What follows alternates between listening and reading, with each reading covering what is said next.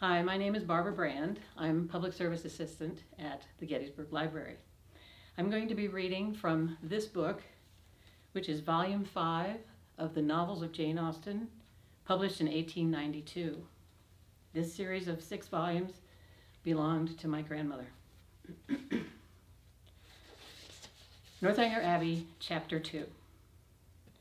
In addition to what has already been said of Catherine Morland's personal and mental endowments when about to be launched into all the difficulties and dangers of a six weeks residence in Bath, it may be stated, for the reader's more certain information, lest the following pages should otherwise fail of giving any idea of what her character is meant to be, that her heart was affectionate, her disposition cheerful and open, without conceit or affection of any kind.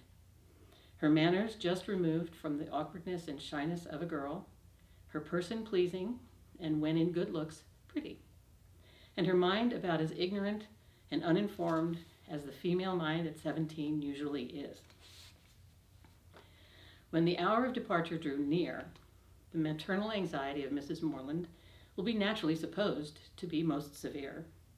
A thousand alarming presentiments of evil to her beloved Catherine from this terrible, from this terrific separation must oppress her heart with sadness and drown her in tears for the last day or two of their being together.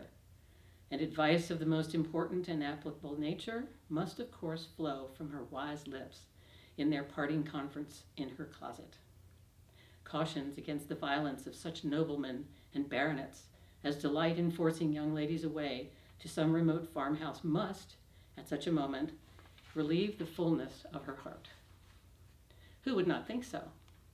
But Mrs. Morland knew so little of lords and baronets that she entertained no notion of their general mischievousness, and was wholly unsuspicious of danger to her daughter from their machinations.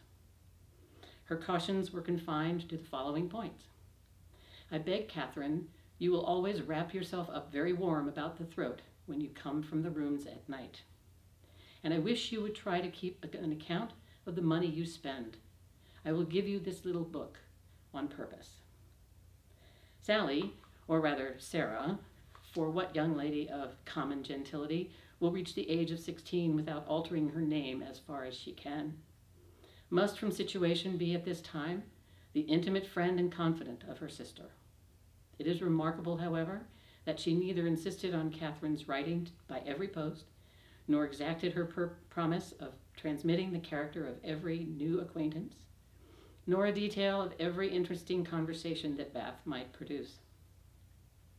Everything indeed relative to this important journey was done on the part of the Morlands with a degree of moderation and composure which seemed rather consistent with the common feelings of common life than with refined susceptibilities, the tender emotions which the first separation of a heroine from her family ought always to excite.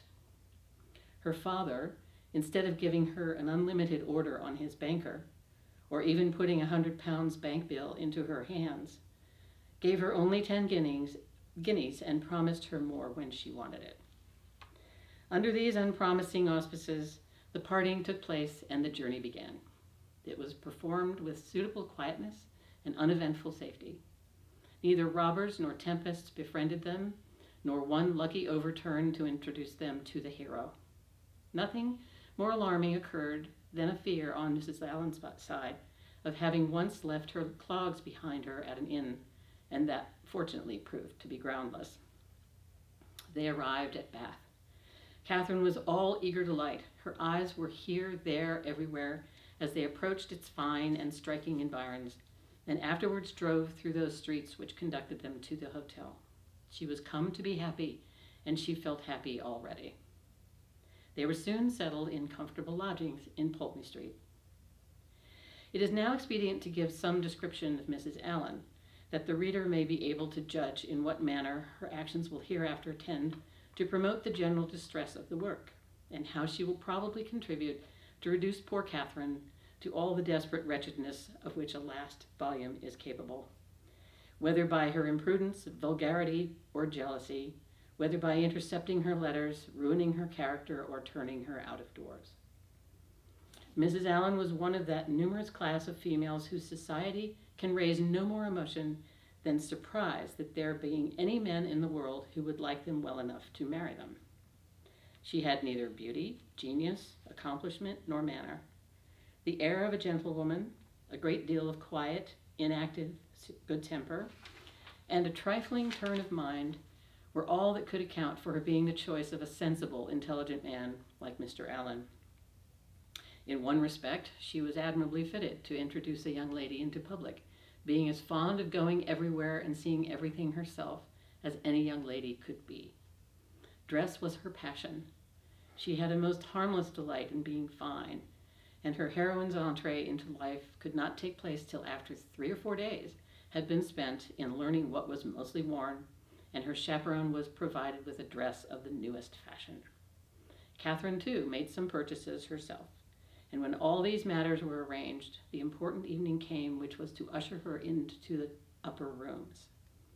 Her hair was cut and dressed by the best hand, her clothes put on with care, and both Mrs. Allen and her maid declared she looked quite as she should do. With such encouragement, Catherine hoped at least to pass uncensured, uncensured through the crowd. As for admiration, it was always very welcome when it came, but she did not depend on it. Mrs. Allen was so long in dressing that they did not enter the ballroom until late. The season was full, the room crowded, and the two ladies squeezed in as well as they could. As for Mr. Allen, he repaired directly to the card room and left them to enjoy a mob by themselves. With more care for the safety of her new gown than for the comfort of her protege, Mrs. Allen made her way through the throng of men by the door as swiftly as the necessary caution would allow. Catherine, however, kept close at her side and linked her arm too firmly within her friend's to be torn asunder by any common effort of a struggling assembly. But to her utter astonishment, she found that to proceed along, along the room was by no means the way to disengage themselves from the crowd. It seemed rather to increase as they went on, whereas she had imagined that when once fairly within the door, they should easily find seats and be able to watch the dances with perfect convenience. But this was far from being the case, and though by unwearied diligence they gained even the top of the room, their situation was just the same. They saw nothing of the dancers but the high feathers of some of the ladies. Still they moved on. Something better was yet in view, and by a continued exertion of strength and ingenuity, they found themselves at last in the passage behind the highest bench. Here there was something less of a crowd than below, and hence Miss Morland had a comprehensive view of all the company beneath her, and of all the dangers of her late passage through them.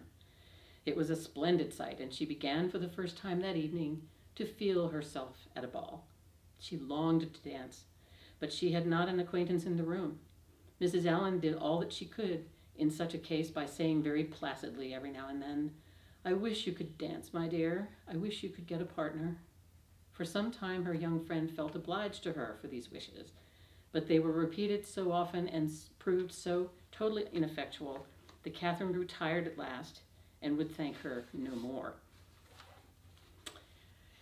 They were not long able, however, to enjoy the repose of the eminence they had so laboriously gained. Everybody was shortly in motion for tea, and they must squeeze out like the rest. Catherine began to feel something of disappointment. She was tired of being continually pressed against by people, the generality of whose faces possessed nothing to interest, and with all of whom she was so un- wholly unacquainted that she could not relieve the irksomeness of imprisonment by the exchange of a syllable with any of her fellow captives and when at last arrived in the tea room, she felt yet more the awkwardness of having no party to join, no acquaintance to claim, no gentleman to assist them. They saw nothing of Mr. Allen, and after looking about them in vain for a more eligible situation, were obliged to sit down at the end of a table, at which a large party were already placed, without having anything to do there or anybody to speak to except each other. Mrs. Allen congratulated herself as soon as they were seated on having preserved her gown from injury. It would have been very shocking to have it torn, said she, would it not?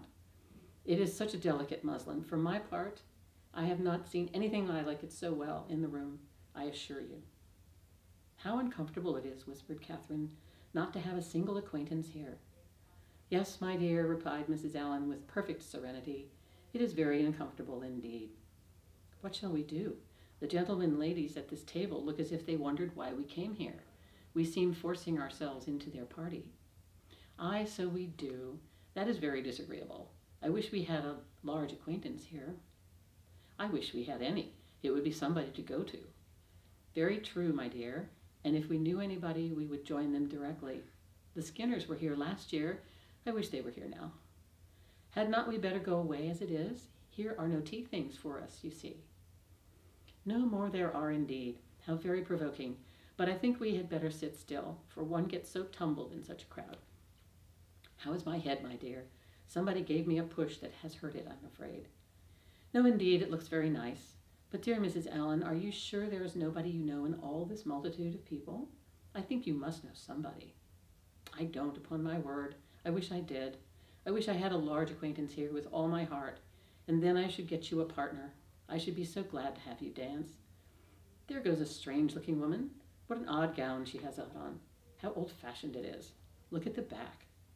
After some time, they received an offer of tea from one of their neighbors. It was thankfully accepted, and this introduced a light conversation with the gentleman who offered it, which was the only time that anybody spoke to them during the evening until they were discovered and enjoined by Mr. Allen when the dance was over.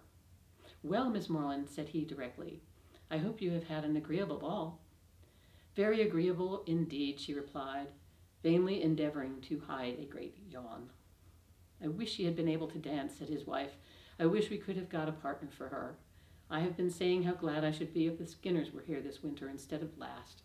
Or if the Parrys had come, as they talked of once, she might have danced with George Parry. I am so sorry she has not had a partner. We shall do better another evening, I hope, was Mr. Allen's consolation.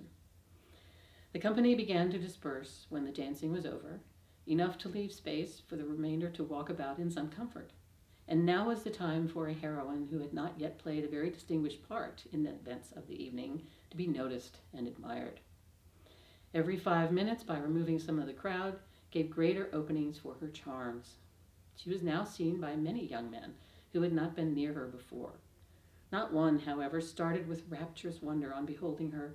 No whisper of eager inquiry ran around the room, nor was she once called a divinity by anybody. Yet Catherine was in very good looks, and had the company only seen her three years before, they would now have thought her exceedingly handsome.